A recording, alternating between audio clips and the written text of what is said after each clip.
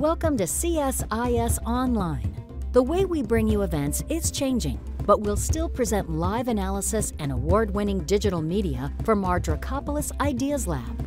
All on your time, live or on demand. This is CSIS Online. Uh, my name is John Hamre. I'm the president of the Center for Strategic and International Studies, uh, a, a, national security think tank in Washington, D.C. You may find this to be strange. Why is a national security think tank uh, introducing this session that you're going to have with Bob Gates? Uh, well, it's because we consider civics education to be a national security imperative. Uh, I think we've seen in recent days a great concern about whether Americans comprehend the importance of this remarkable institution that we've inherited, a democracy. Do we understand it? Uh, do we know how precious it is and what we have to do to sustain it? We've been focused on this for several years, and of course, it's all become a greater focus in recent months. And we were very pleased that Secretary Bob Gates agreed that he would lead a session with all of you in this very important dialogue. My role is strictly to say this is not an education issue alone, this is a national security imperative. And I really am grateful that you are here to listen to this remarkable man, Secretary Bob Gates. Thank you so much, Dr. Hamre. Uh, we are so pleased to be able to host this conversation as part of the CivXNow Policy Summit. CivXNow has been an outstanding partner in our strategic dialogue on civics as a national security imperative, especially Louise Dubé and Shawn Healy. Uh, their passion around promoting civic education is so inspiring as is the passion that we've heard from a wide range of national security professionals that we've had the privilege to talk with over the course of this initiative at CSIS. A key goal for our initiative is to bring the sense of urgency to this issue of civic education that we attach to other national security issues. And I can think of no one better suited to talk about the national security imperative of civics than our guest this afternoon hard to know what title to use for him. I tend to think of of you, uh, Dr. Gates, as Director Gates, uh, because that's the capacity in which I first met you back in the early 90s when I was a young attorney in the General Counsel's office at CIA, and you were the Director of Central Intelligence. I was working for Elizabeth Rindskopf Parker. And I remember particularly arriving early for a meeting uh, once with, that she asked me to accompany uh, with you and you came out and i was the only one there and you graciously brought me into your office and we chatted for a few minutes till everyone arrived um, very impressionable for a, for a young attorney uh, you joined the cia of course uh, in 1966 and, uh, and, and director gates worked for six presidents during 27 years as an intelligence officer and was the only career officer in cia's history to rise from being an entry level employee to become the director but another title that many think of you uh, is Secretary Gates. Uh, Secretary Gates is the only Secretary of Defense in U.S. history to be asked to remain in office by a newly elected president, spanning Presidents Bush and Obama. Uh, in fact, he served eight presidents across both parties. And on Secretary Gates' last day in office, of course, President Barack Obama awarded him the Presidential Medal of Freedom, America's highest civilian honor. But he also received the Presidential Citizens Medal, relevant to today's discussion, awarded to individuals who have performed exemplary deeds or services for his or, or country or fellow citizens. Of his many, many medals and awards, there's another one I was particularly impressed by, and that was way back when, when you were graduating from William and Mary, the Algernon Sidney Sullivan Award, given to honor splendid characteristics of heart, mind, and helpfulness to others. Uh, we could even call you President Gates, since you were president of Texas A&M University and president of the Boy Scouts of America, having been an Eagle Scout yourself, um, or your current title, Chancellor of William and Mary. But for, for today, today's discussion, uh, I will use Dr. Gates, since our emphasis is on education. Speaking of William and Mary, uh, you once said that William and Mary instilled in you a calling to serve a sense of duty to community and to country. uh, I've no doubt that William and Mary strengthened that calling, but I have a sense that you had other formative experiences earlier in your life, including the Boy Scouts. And um, Elizabeth Rindskopf Parker, who served as your general counsel, shared with me a story about the inspiration that you derived from uh, from JFK. And I wondered if you uh, would share some of those early experiences uh, that helped inform your sense of civic responsibility and civic literacy. Sure. Well, first of all, it's a pleasure to be here with you, Suzanne. I'm really looking forward to this. Uh, uh, I would I would uh, say three things about my background that um, contributed. One was uh, certainly my experience growing up in Kansas and and uh, being in the Boy Scouts and uh, the Scouts then and now. one of the requirements for become an Eagle is earn merit badges and citizenship in the home, citizenship in the community, and citizenship in the nation. And um, and those those really sparked an interest for me. When I went to William Mary, I actually uh, was uh, wanted to be a, a neurological surgeon. And I've often said, God only knows how many lives have been saved by my becoming CIA director and Secretary of Defense instead of a doctor.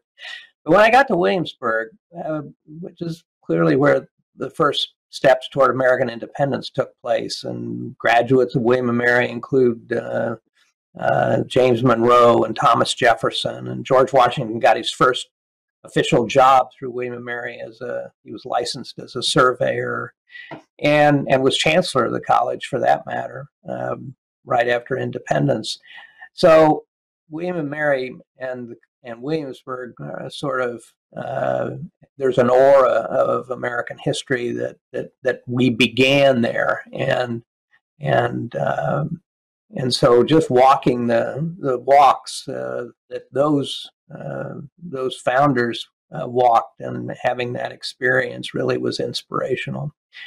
And then um, and then I was um, I was a freshman in college when um, President Kennedy um, made his inaugural speech and, and said, or I was a senior in high school actually.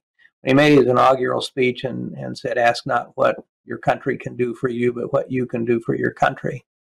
And, and actually, one of my regrets is that in my uh, over 50 years of uh, serving those eight presidents, there actually were only two that um, lauded public service as as an admirable thing to do and and encouraged young people to go into public service. And President Kennedy was one, and the other was George H.W. Bush, uh, uh, our 41st president.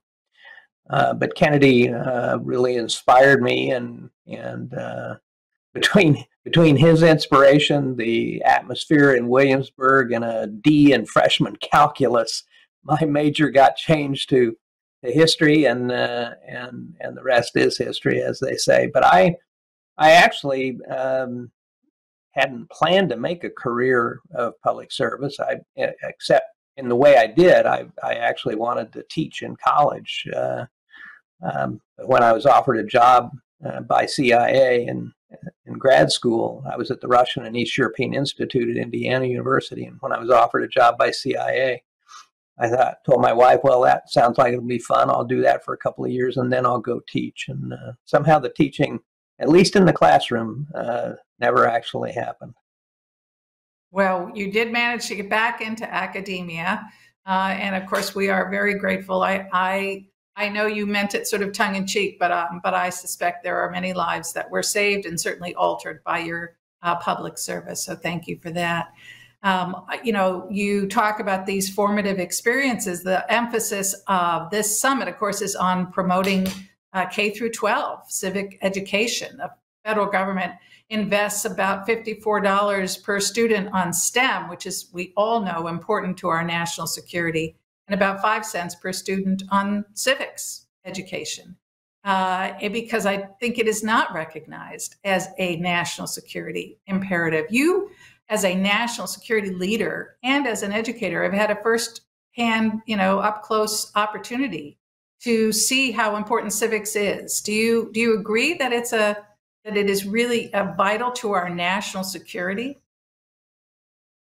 I think it's imperative, and and frankly, I think that um, the the level of public discourse, the um, ugly nature of uh, the public debate today, um, the divisiveness in our country, uh, in my view, are a reflection uh, in at least some part of the absence of civics education, um, particularly in middle school and high school, but especially high school, when kids are old enough to understand um, some of the intricacies of how government works. And I think, I think part of it is, you know, everybody has to take American history, but you know, the teachers are required to cover the entirety of American history in a given amount of time, and so you do they do cover, you know, the the framing of the Constitution and the Declaration of Independence and the formation of the American government and so on. But civics is not really a part of the teaching of American history of how the government works uh, and the role of the citizen in making government work and in holding politicians accountable and the importance of participation uh, uh, and and just the how how important it is that there be a civil dialogue in discussing the issues that come before us. You know, several of the founding fathers, uh, Benjamin Franklin, John Adams, and others, all wrote very specifically that the democratic experience, the the the building of the republic uh, or its sustainment depended entirely on having an educated public. And by that, they didn't mean just STEM. They meant an, a public that understood the nature of their government uh, and and the role of the citizen in the government and the engagement of student of citizens uh, in their government and in the operation of government. And and frankly, I think the absence uh, or the disappearance, I should say, of the teaching of civics, um, particularly in high school, uh, I think has had a really deleterious effect on the country. Yeah, you um, you talk about the importance of civics teaching us about obligations and responsibilities of, uh, of individuals and their fellow citizens. Uh, I think very yeah. I would just I would just interject. I would just interject there, Suzanne. I I often make the comment in in speeches and, and and public appearances that I make. We hear all the time about our rights as citizens. Everyone talks about our rights. Virtually no one, including our political leaders, talk about the obligations of citizenship. Yeah, I, I often I am so struck these days, particularly of, of you know thinking of, by, and for the people, right? Government of, by, and for the people. Uh, and I think you're right. We've focused a lot on the for the people uh, and, and not nearly enough on the uh, of and by. That, that we are, that the beauty of democracy is that connection between the governed and the government. Um, and that we have that obligation. And one of the things I think uh, that has led to a decline in trust in democracy and, and, and, and appreciation for democracy is a sense that among so many Americans that um, that they that they are helpless, that the government is not responsive, uh, and and that they cannot make it responsive. And I think, in fact, the strength of democracy, a key strength of democracy, is its capacity for change. So uh, can you talk a bit about how civics can help educate Americans to be more effective agents of change, to empower Americans to be those voices, uh, you know, whether it's in national security or other places, the, the importance of, of, of combating, for example, disinformation from Russia that would lead us to believe that our system is irrevocably broken by empowering individuals to understand how they can make our institutions more responsive and more accountable? Well, I think I think one of the one of the objectives of civics education is underscoring for uh, people the importance of participation, um, of voting, and of engagement. And frankly, one of the reasons that we're in the real bind we're in nationally right now is that uh, particularly in, in the political parties' primaries, there actually is very small participation.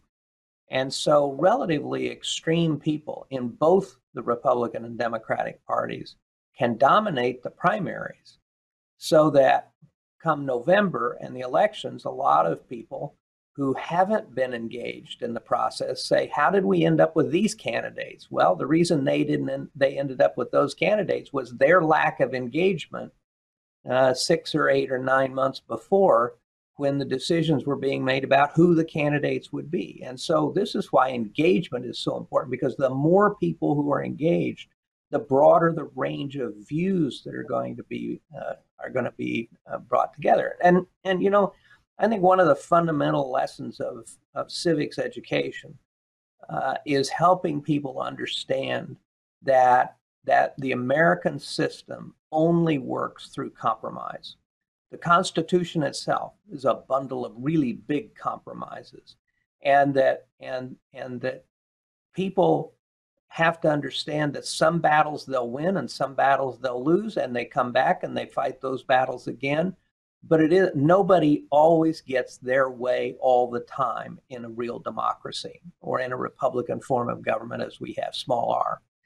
And so I think one of the big lessons of, of civic civic education civics education is is uh, the importance of engagement and and I think that this that there's a direct connection in my view between the lack of engagement on the part of a lot of Americans because I think most Americans uh, by far a majority are probably center center left center right they're not on the extremes and and when you have the kind of polarization and paralysis we do today because of the lack of engagement of the broad citizenry. It has real national security implications. It creates the opportunity for disinformation by the Russians and the Chinese. It inhibits, it, it has an impact internationally that the United States can't govern itself. Uh, this is a big theme of the Chinese right now the United States doesn't can't its model of government doesn't work. And they point to all the things they've accomplished in terms of infrastructure and bringing people out of poverty and so on and so forth. So there's a there's a direct thread, it seems to me, between the lack of engagement of a broad cross section of Americans in the day-to-day life of the of the republic in terms of public uh, engagement and our polarization, paralysis, and the consequences of that in terms of our national security. Yeah, I, I totally agree.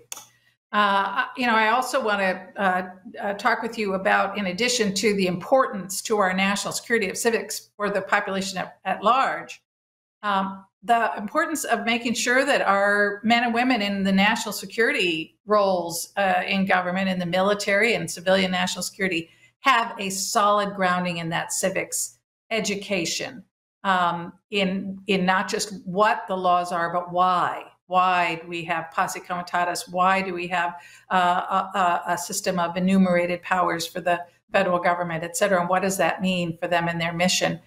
Um, did you do you have any examples from your experience in your national security roles, good or bad, of of sort of the you know degree to which our workforce has adequate civics grounding?